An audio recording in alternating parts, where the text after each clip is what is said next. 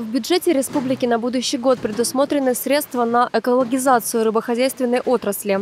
Сейчас в Карелии работают 73 рыбоводных хозяйства и 36 перерабатывающих цехов. Объемы переработки рыбы с каждым годом увеличиваются. Одним из способов сделать производство более экологичным называют введение установок замкнутого водоснабжения. Форолеводам возместят половину расходов на разработку проекта сметной документации для таких комплексов. Также Минсельхоз рассматривает возможность компенсации затрат на приобретение соответствующего оборудования. Кроме того, рыбоводов будут стимулировать проводить уборку донных отложений под садковыми линиями. Такие мероприятия актуальны для рыбных хозяйств, расположенных на неглубоких водоемах с низкой проточностью. Они снижают содержание загрязняющих веществ в воде, улучшают кислородный режим. Никто другой, кроме как сами форелеводы, не заинтересован в благополучии биологическом.